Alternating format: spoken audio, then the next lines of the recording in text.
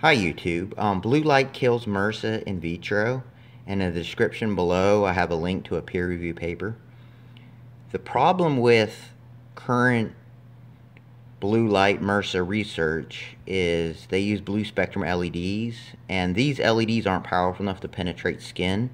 I have overcome this problem by using a 1000 watt blue spectrum high pressure sodium hydroponic bulb um, and what I do is, this is a combination uh, treatment. I take this bulb and I take benzethonium chloride, mix it half and half with Epsom salt, apply that topically to my reoccurring MRSA.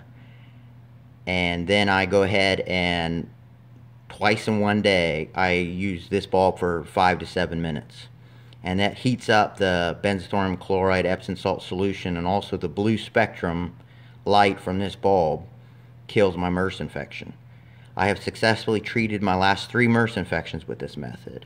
Um, right here, I have a lab result of one of my MRSA infections from the Chillicothe VA Medical Center.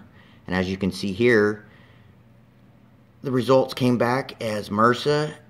Um, it was resistant to penicillin, oxacillin, a couple other antibiotics, but it was susceptible to tetracycline, and a couple other antibiotics. Um, because I've had MRSA infections so many times, they've just kind of messed up my system. So I did a lot of research and uh, I came up with this method and it works really good. Um, currently I have a friend who has an infection on her chin. I went ahead and made a video.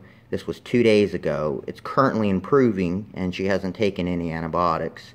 Um, I'm going to be uploading this video in the next couple of days. So Please share these videos and the other videos on this channel, patent-free MRSA treatment and dogs. Um, on this channel, there is a demonstration of how I do this. Thank you, YouTube.